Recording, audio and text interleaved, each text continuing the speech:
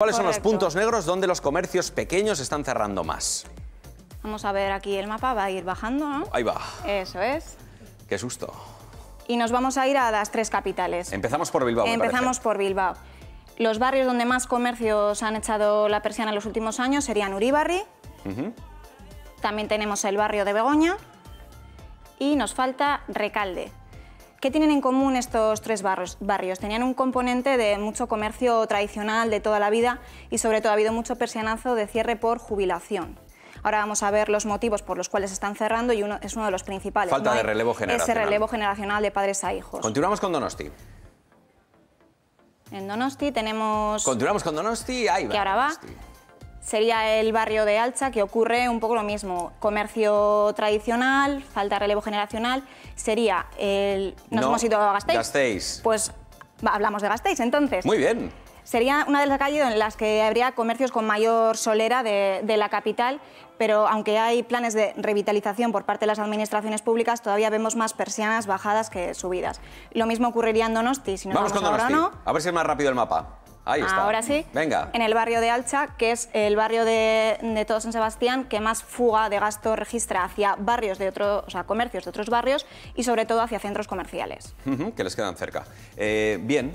¿Cuáles son los principales motivos o las principales razones de estos cierres de los comercios? Aunque hay motivos de lo más variopinto, porque cada uno tiene su historia, sí podríamos hablar de cinco puntos que suelen tener en común. El Te voy primero. a hacer una cosa. Dime. Sarita, que eres muy guapa y te Ah. tiene que ver la cámara bien. Vale, me he ubicado ¿Vale? mal, ¿no? No, pero ahora estás perfecta. Perfecto. Adelante. Los alquileres de renta antigua. Desde finales de 2014 es una de las principales razones que encontramos en el persianazo de los comercios. Aquí tenemos un ejemplo de que ha pasado de 1.000 a 9.000. Es de los más exagerados, ¿no? Pero en esas calles más céntricas, más comerciales, sobre todo en las tres capitales, sí se han dado estos casos. Algunos se han multiplicado por dos o por tres. O, por ejemplo, yo tengo un pequeño kiosco de revistas.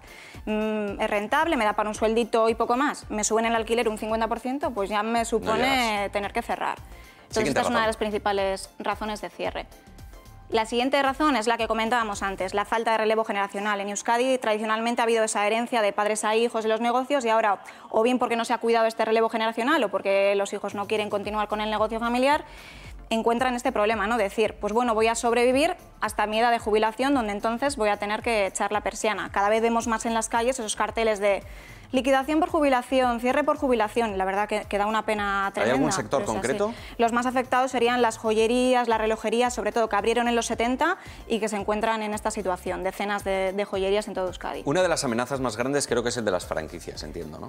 Las franquicias y otros tipos de negocios, centros comerciales, el comercio online, marcas low cost, etcétera.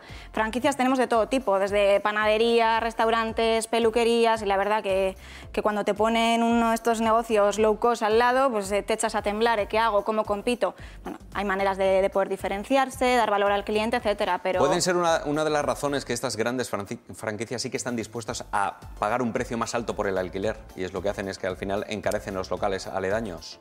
El problema es que los márgenes con los que cuentan los pequeños comercios son muy grandes. Cuando nos vamos a sectores muy masificados, hay mucha competencia, nuestro margen se reduce y es que no pueden competir, tienen que buscar otro valor añadido, el trato al cliente, diferenciarse por esa confianza, por ese trato más cercano, porque por margen no pu- y por volumen no pueden competir con los grandes centros comerciales. Avanzamos.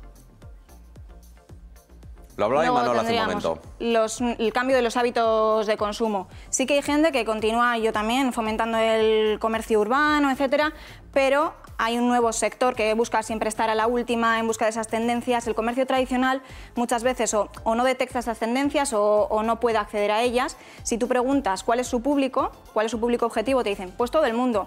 Pues no, la competencia ahora- hoy en día, sobre todo en Internet, está ultra especializada. Tenemos que diferenciarnos, buscar nuestro público objetivo, sobre todo intentar captar a esta gente que siempre quiere estar a la última en busca de estas tendencias. Por ejemplo, una sería el, el autoabastecimiento, el self-service. ¿No? Yo voy a una carnicería, yo voy a una frutería y no quiero hablar con el charcutero, no quiero hablar con, con la frutera. Quiero que tengan envasados los productos más habituales, no hacer cola y llevármelos a casa, a comprar lo que quiero. Creo que la clave es no hacer cola, más que no, hablar cola. con el charcutero. Siempre Hay mucha gente que no quiere hablar, ¿eh? Tengo eh, ejemplos en mi familia además, de gente que solo quiere ir, pues como si fuera un supermercado grande, mira, pues yo quiero ir a esta frutería porque me gusta el género que tiene, pero mira, si pero tiene es paradójico, Sara, porque al final estamos hablando de un trato personalizado. Trato personalizado sin hablar es difícil.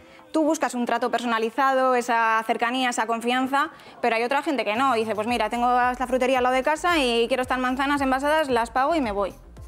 Entonces también hay que conseguir captar a ese, a ese público. ¿Cuál es el último motivo? El último motivo, más muy ligado con el anterior, y los expertos dicen que sería el principal, la falta de actualización, sobre todo de la experiencia de compra.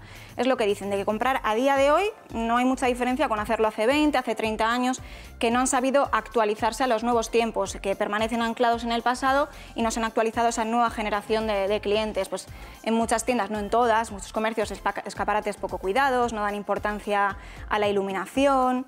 Eh, luego también habría poca información en la exposición, los almacenes un poco desordenados, porque la gente lo que busca es esa experiencia a la hora de, de comprar, no solo la compra en sí, sino que les aporte algo.